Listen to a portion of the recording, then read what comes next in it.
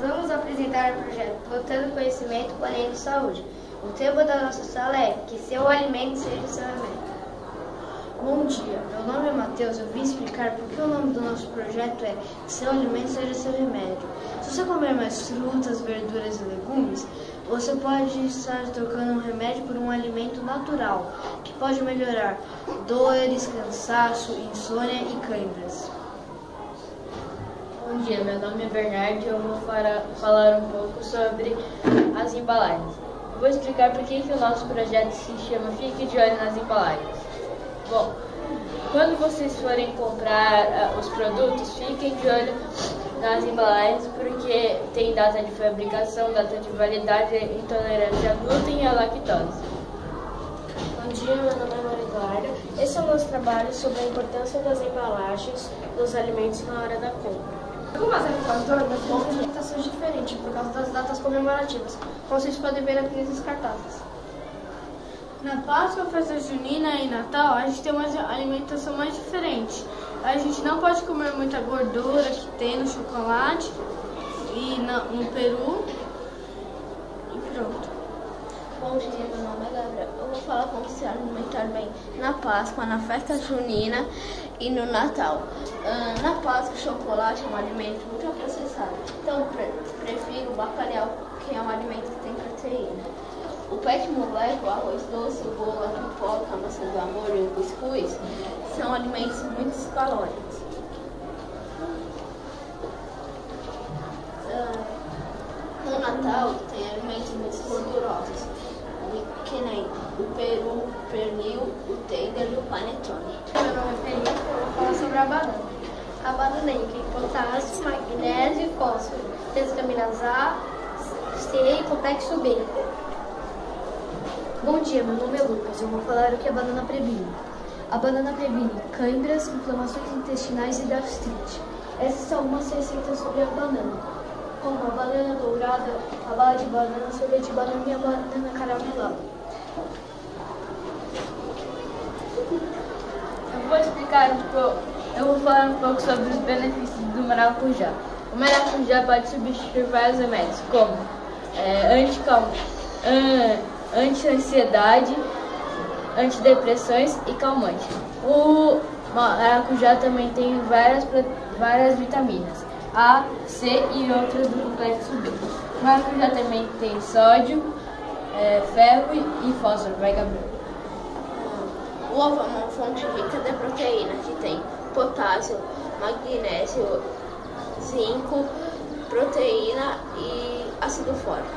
Um ovo por dia pode ajudar na sua visão. A clara do ovo ah, tem licetina. Ah, muita gente joga, muitas pessoas jogam a gema do ovo fora porque ela é rica em colesterol, mas ela também tem ômega 3. A acerola é um arbusto da família das rafigaceias. O fruto se dá em uma árvore chamada ceroleira. Fonte de vitamina do complexo B, cálcio, ferro, potássio e magnésio. Com todos esses nutrientes, a acerola pode prevenir, pode prevenir resfriados, alergias, entre outros. O mínimo é você comer 3 ou 4 frutas por dia. Quanto mais verde, maior é a quantidade de vitamina C. Quanto mais vermelha, maior é a quantidade de claroteno, substância que evita o envelhecimento. Agora, Agora eu vou falar um pouco sobre a laranja. Os gomos da laranja têm muita vitamina C. A laranja é uma das frutas mais procuradas em todo o mundo, não só pelo seu bom gosto, mas também por seu valor nutricional. Ela é uma aliada no, no acidente vascular cerebral. Ela previne câncer, câncer de mama, é, reduz o colesterol alto e mantém a pele saudável. E ela substitui a vitamina C artificial. Agora eu.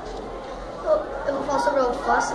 O alface é de origem vegetal e se você consumir 100 gramas, você tá, está consumindo 15 calorias. É, ele contém as vitaminas A, C, liciana, proteínas, fibras, cálcio, fósforo e o chá da alface substitui o calmante. O abacate tem vitamina A, C, E e B6. Ele pode substituir o antioxidante. A cenoura faz bem para os olhos, para a pele e, para, e na digestão.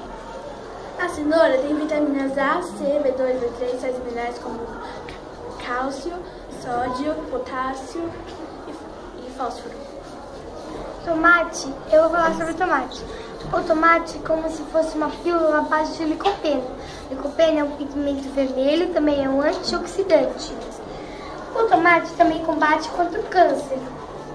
É, o suco de tomate, com, de tomate com salsa é muito bom para dissolver células renais. E o tomate também tem, é rico em vitaminas A, complexo B e C, sais minerais como ácido fólico, potássio e cálcio. A beterraba é uma planta da família Canopódio. Ela é rica em vitaminas, todas as vitaminas, rica em ferro e também ela combate a anemia. Quando você estiver com anemia, coma uma beterraba de vez comer um remédio, tomar um remédio. O fígado traz vitaminas A, B, C, D, E, ferro e outros benefícios. Ele combate contra hepatite e anemia.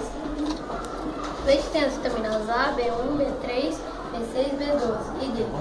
Ele tem muito cálcio e ajuda na construção dos ossos.